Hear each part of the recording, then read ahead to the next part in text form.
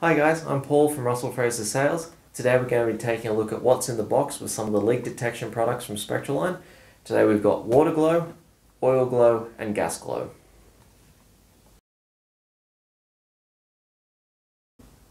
So the principle behind this is really simple. By adding a small amount of this to your fluid, it'll then allow that fluid to fluoresce under a light source such as 365 nanometer ultraviolet. Makes it really simple to identify the source of your leaks. So there's a few main types. Uh, gas glow, which is for petrol, Oil Glo, which is for hydraulic and gearbox fluid, and Water Glo, which is the one we'll be looking at today.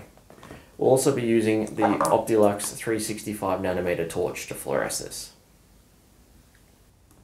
So what I have here is just some plain water, about 800 mil. Uh, as you can see under the UV light, doesn't fluoresce. You can see the board behind it fluorescing, but the water does not. Uh, what we're going to do is add a very small amount of the Water Glo here. So the Water Glo, this one in particular, goes in at a ratio of about 0.01%. For 800 ml, we literally only want two drops. One, two.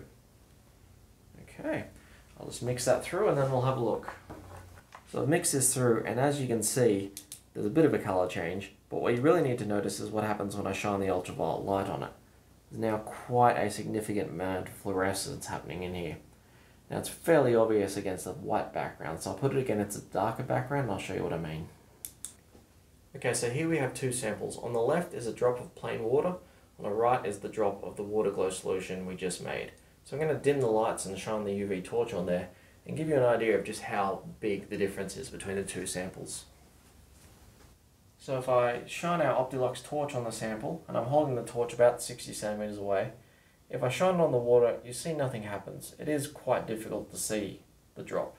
However, if I shine it on the Water Glo sample, you see it fluoresces quite intensely. I'm sure this video doesn't do it justice, but standing here in the room, it makes it really obvious where the water is. So as I mentioned, this is available for other mediums, not just water, but also petrol and oil. Uh, here we've got a few different samples and a few different colours for you to see. Now to give a little bit of context, I'm standing about two and a half metres from these samples at the moment. And using the same torch, you can see they still fluoresce very brightly. But you can also see that there's a range of different colours. So the one on the left is the Water Glo we were just looking at, followed by uh, gas glow, which is in petrol, and then there's a few in hydraulic fluid. And finally, we've got one in old engine oil. Now that was quite difficult to see anything before it was fluoresced, but now you can see a huge difference. It'll be very easy to spot. So all of these products are available for Russell Fraser Sales. If you have any questions, please feel free to contact us.